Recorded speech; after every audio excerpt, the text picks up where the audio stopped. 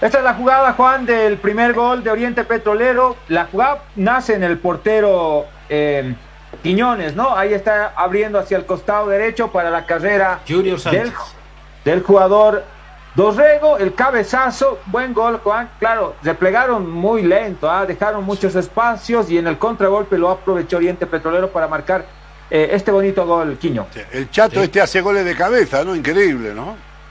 Sí, sí, sí, es, eh, no es raro en, Daniel Rojas. Ya ha convertido goles, eh, le gusta llegar de manera sorpresiva al área rival y en esa oportunidad nuevamente hizo las veces de centro delantero, Juan. Buena jugada, salió Quiñones con Junior Sánchez, lo ve solo a Dorrego por la banda derecha y Dorrego que mete un centro medido para que Daniel Rojas abra el marcador, Juan. Buena jugada de Oriente. Ha levantado Oriente y, a nadie más se acordaron del, descenso, ¿no? De modificar la, la, convocatoria. Pero ahí, mirá vos, tiene defensores tan altos este equipo. Tiene un arquero también que es alto. Es una pelota de cuadro chico. Ese es un error garrafal del arquero, ¿no?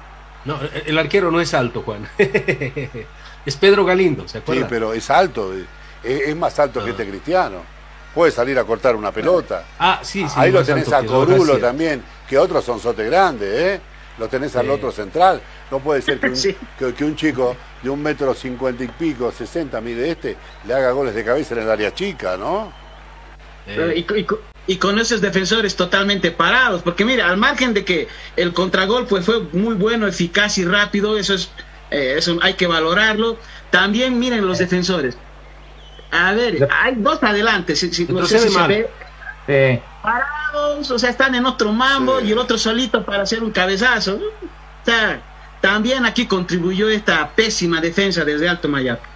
Vamos al siguiente, Juan. Por favor. Al pero siguiente, antes, al siguiente Pero antes, ¿eh? Un rapidín.